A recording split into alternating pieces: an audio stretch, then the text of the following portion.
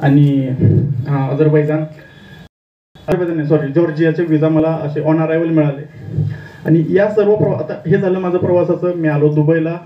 आणखी प्रचंड अडचणीत आणि तुम्ही ऐकलं असेल की मी पंक्तीला बसतो आणि बुंदी संपते. त्या बाबतीत बऱ्याच वेळा व्हायचा. बंदर अब्बास या बंदरावरती मी एक फेरी बोट बुक केली होती की जी मला इराणमधून दुबईला घेऊन जाईल. मी तिथे पोचलो वीस मिनिटाचा पाऊस पडला. आणि ती फेरी बंद झाली पुढचे पाच दिवस. सुरक्षेच्या कारणास्तव. कारण वीस मिनिटाचा पाऊस मिडल ईस्ट किंवा गल्फमध्ये खूप मोठा पाऊस आहे. आणि मला वाटते पंधरा दिवस आपल्याकडे ते व्हिडिओज फिरत होते. दुबई बुडाली वगैरे वगैरे. तर तो वीस मिनिटाचा पाऊस पडला होता फक्त. फेरी कॅन्सल झाली. मला निर्णय घ्यायचा होता. मी एक शिपिंग काय बोलतात ते? वेसल्स वेसल्समध्ये माझी गाडी पाठवली. मी फ्लाईट फ्लाईटने पलीकडे गेलो. पाच दिवस वाया गेले माझे त्या कस्टम क्लिअरन्स वगैरेमध्ये दुबईमध्ये पोचलो दुबईमध्ये नॅशनल हॉलिडे सुरू झाला त्यांना झाली बावन्न वर्ष पूर्ण दुबईला. खुश झाले सर्व की आपल्याला बावन्न वर्ष पूर्ण झाले. आणि त्याचा फटका मला बसला. मी ते बुकिंग करून सर्व आलो. मी पुढच्या कंट्रीत गेलो बहरीनमध्ये फ्लाईटने कारण या देशासाठी सात दिवस लागतात. या ट्रान्झिट बाईक इथून प्रोसेस करून मला कोचिंगला मिळण्या तिकडे गेलो.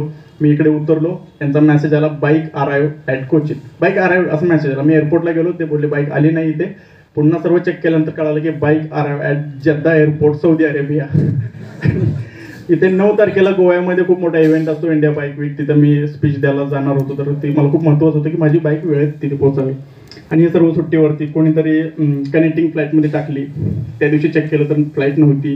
नेक्स्ट डे नव्हती फ्लाईट मग पाच तारखेला एक फ्लाईट होती. त्या फ्लाईटमध्ये खूप प्रयत्न. मी इथून फोन करायचो दुबईला. दुबईवाले सौदीला करायचे. मग आमचं तीन चार तासाचं कॉन्फरन्स वगैरे करून एका फ्लाईटमध्ये स्लॉट अवेलेबल केला. त्यातलं सामान उतरवून जे एमर्जन्सी नव्हतं माझी बाईक चढवली आणि ती जद्दामधून कोचिंगला पोहोचली. तिथे त्या एअरपोर्टवरची माझी पहिलं असं कार्गो होतं की ते साडे अकरा वाजता विमानातून उतरलंय आणि तीन वाजता माझ्या हातात आलेलं आहे. ही अतिशय फास्ट प्रोसेस आहे. कारण कार्गोमध्ये कोण इम्पोर्ट एक्सपोर्टमध्ये काम करत असेल त्यांना माहीत आहे की कार्गो उतरल्यानंतर जे ते व्यक्तीकडे जायला किती वेळ लागतो आणि किती हेल्पाटे मारावे लागतात किती डॉक्युमेंटेशन करावं लागतं.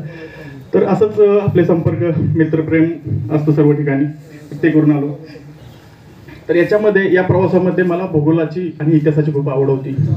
यामध्ये माझं स्वप्न होतं इस्तांबूलला जायचं. इस्तांबूल जगातलं खूप महत्त्वाचं शहर आहे.